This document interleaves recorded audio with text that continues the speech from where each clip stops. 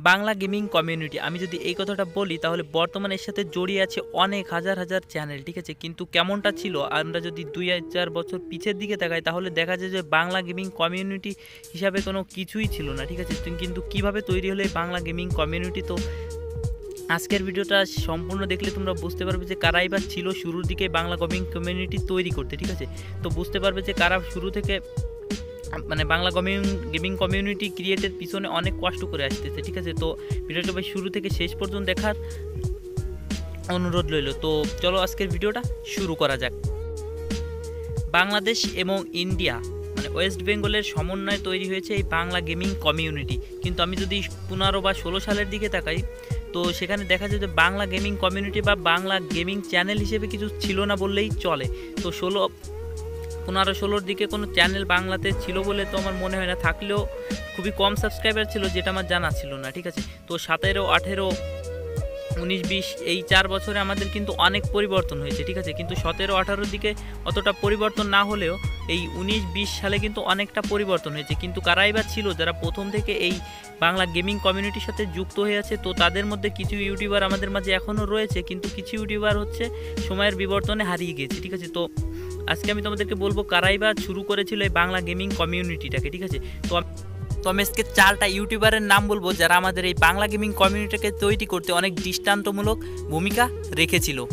তো আমি সেই ইউটিউবারদের নাম বলার আগে একটা কথা বলে নিই। দেখো দু ষোলো বা দু হাজার বিশ সালের দিকে আমরা যদি তাকাই, তাহলে বাংলা গেমিং কমিউনিটি থেকে কিন্তু অনেকটা পরিবর্তন এসেছে। তো সেই পরিবর্তনটা আমরা কিন্তু এই পরিষ্কার দেখতে পাই, ঠিক আছে? কিন্তু বর্তমানে দেখো যে বাংলা গেমিং কমিউনিটিতে কিন্তু কিছু ভাগ হয়ে গিয়েছে, ঠিক আছে? যেমন হচ্ছে ফ্রি ফায়ার কমিউনিটি এবং পাবজি কমিউনিটি ঠিক আছে? তো এই ভাগটা আসলে আগে কোনোক্ষণই ছিল না, কারণ তখন সবাই একটা গেম নিয়েই করতো, সেটা হচ্ছে ক্লাস অফ ক্লান্স এবং বিভিন্ন ছোটোখাটো গেম নিয়ে সেগুলো চলতো, ঠিক আছে?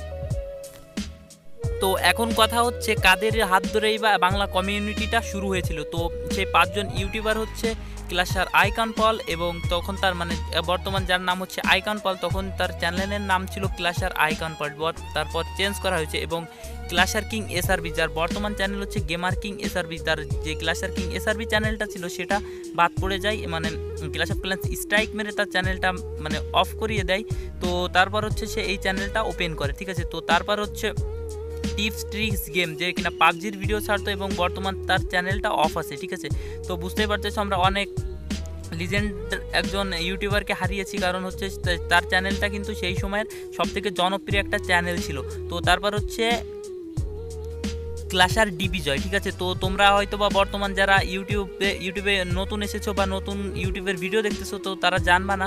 কারণ হচ্ছে ক্লাসার ডিপি জয় কিন্তু অনেক পুরনো একজন ইউটিউবার ঠিক আছে? তখন বর্তমান মানে তখনকার সময়ের ইউটিউবের যে সব থেকে টপ চ্যানেল ছিল কিন্তু তার ঠিক আছে? এবং সেকেন্ডে ছিল টিপস ট্রিক্স গেম কিন্তু সেই দুজন যে লিজেন্ড লিজেন্ড ছিল আমাদের, বলতে পারো লিজেন্ড তখনকার সময় গেমিং কমিউনিটির লিজেন্ড ছিল তারা।